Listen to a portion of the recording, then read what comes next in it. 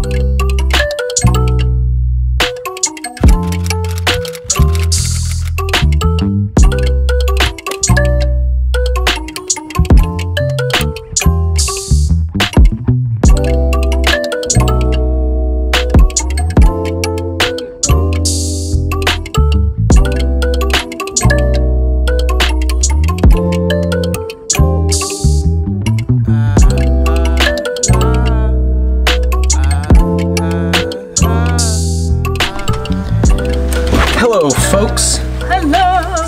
quite a minute since we've talked to you.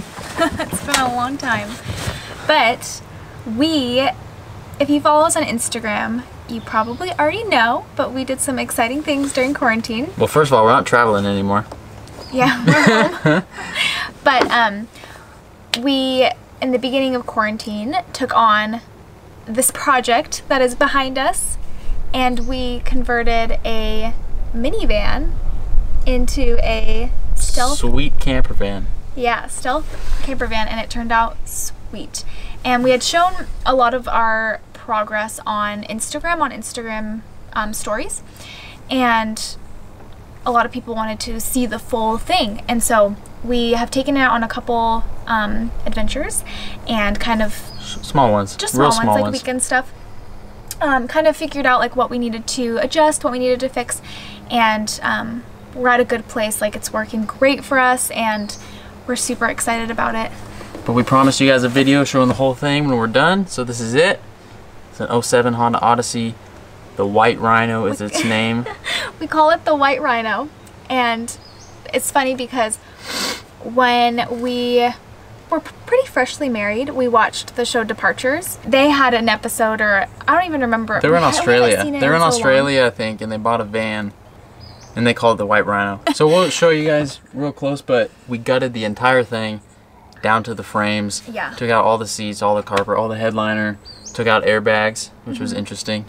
Oh, and something else I wanted to say was that when we were when we decided to do this, we were trying to do research on minivan build outs to kind of get an idea of what we wanted to do, and there was just nothing. There was a few Pinterest photos um, that kind of gave us some inspiration, but other than that, like no YouTube videos, no Instagram, nothing like that.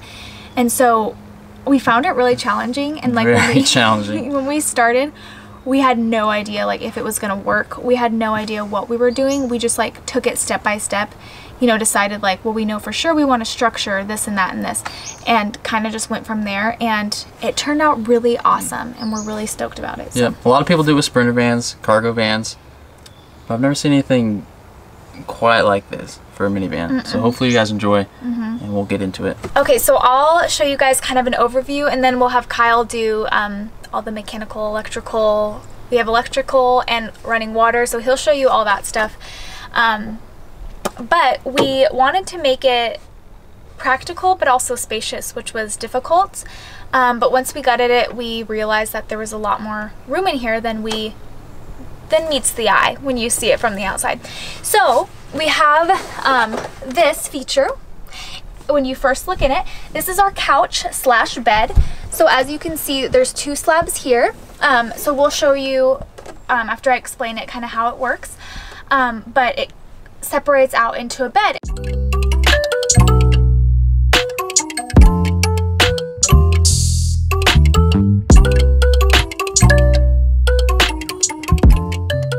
and we both actually fit here pretty comfortably. Um, it's definitely not like a queen or anything, but it's comfortable. But then during the day we can like put it up into a nice couch and it's actually really cozy. Um, and this was all just like repurposed stuff that we made it out of. So that was awesome. And then what else do we have in here? So the all of the wood throughout the whole van is also repurposed. Um, it was wood that was just rotting up in a field of my family members and they were like please take it so we went through pulled out all the good stuff and we used it for our whole build which is awesome and um, it's actually really pretty too it turned out really nice underneath the structure is um, stuff that we bought but the outside is all repurposed wood um, so First we have, um, here in the front, we have two storage. This is something that I don't know that all minivans have, so we got really lucky, but there's a huge amount of storage underneath here. So our plan and like so far what we've done is kept our blankets, pillows underneath here, our dishes are right here. Um, everything like that and there's plenty of space. My clothes I put under here so um, there's a lot of space and we have two access points, one right here and one right here. And these are pretty flat so we don't notice them when the bed's all made out. So we have a lot of storage there which is awesome. And then um, we have a couple windows. We decided to close off this window over here um, because we wanted it to be a little more stealthy um, when we're in here. We didn't want so many windows that we'd have to cover. So we decided to close this one and it's actually kind of nice because we could put decor on it um, and make it feel cozy. And this is our traveling plant. He comes inside when we are home, but he goes in here when we're traveling because it just feels more homey with a plant. Um, what else do we have? Behind here, we have some more cubby space. Um, not a lot, but Kyle puts his clothes in here and um, it works out fine. Just a little bit of extra space, which is good. And then, if you want to come back through here, that was a struggle. Um, so we have, we left this side completely open so we could also enter through this spot, which has been really good. Um, and we have curtains. We have all of these curtains that cover everything up. We have curtains on these windows as well. Let me show you. Whoa. So it's very stealthy. Um, but this area over here, so something that we knew that we wanted was a kitchen space which when we were building, we had a completely different idea of what this was gonna look like, but this is how it ended up, and it's perfect. Um, and there's a cool feature from the outside, outside that we'll show you as well. But we do have running water. We've got a sink here with running water, um, so we can drink water, brush our teeth, all that kind of stuff. Um, and then there's the spaces under here Kyle will get into this later. That's kind of all of our mechanical stuff. That's just what I keep calling it. So this is from the other side. So here's our kitchen in here. We actually made it to a height that would be comfortable from the outside was mostly our plan. Um, and we can pull this out and we have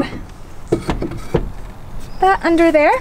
So then we have a workspace, counter space from outside so we can do our coffee or our cooking.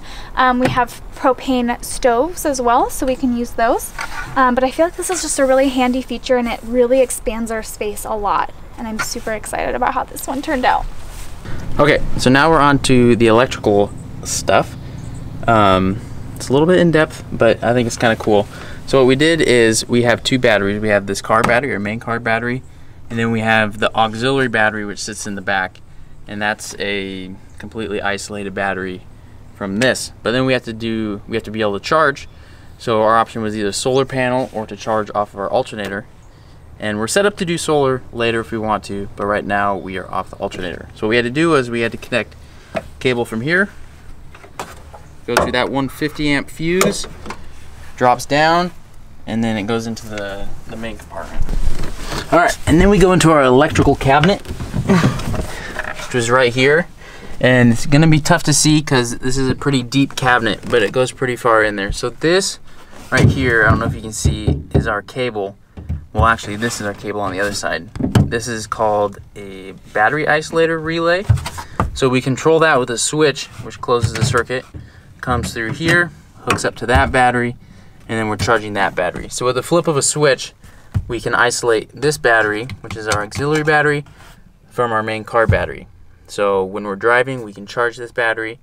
When we're not driving, we can isolate it. And then when we use our lights and stuff, it just comes off of this battery. So then in here we have our fuse panel, our fuse block, and we have capability for six circuits, but we're using five. One goes to this um, inverter right here, power inverter. Gives us our 120 volt power, which is right over here on this wall. The second one is this light switch, and we have four can lights, which are pretty cool. They're like two inch can lights, on and off. And then another one goes to the roof vent, which is a must because it gets steamy in here. That goes on like that. And then we've got another one, which goes to our water pump. Madison showed you earlier. You flip that on, seven gallon tank. Our pump sits right there. And you've got water. All right, so then this is my favorite part of the van. We have our two volt meters. This is our car battery, 12.5. This is our auxiliary battery, which is at 13. Can you see that? Yeah. And then this is our relay switch, which when we're when the car is running, you flip that, then you can charge off the alternator. So I'll give you a quick example of that.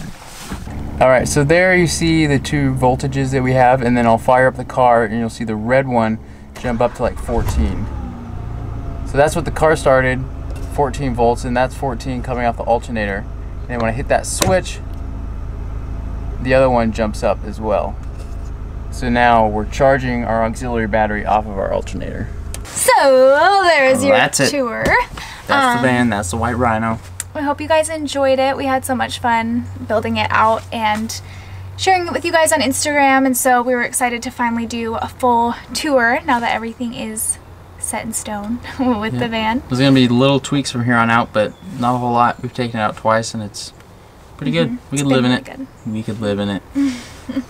So let us know um, if you have any questions about it. We are more than open to um, answer any questions. If you, you know, are thinking about doing something like this, we could let you know what worked for us, what didn't work for us in the build out, and anything like that. you have questions? Let us have them. Yes. But we hope you guys enjoyed. And um, if you don't already, follow us on Instagram. Um, we'll have it in the description box. It's um, but it's Kyle and Madison, and um, we are very active on there and showing a lot of what we do. So what we do in our day to day, in our travels and everything like that. So go follow us there. But That's all.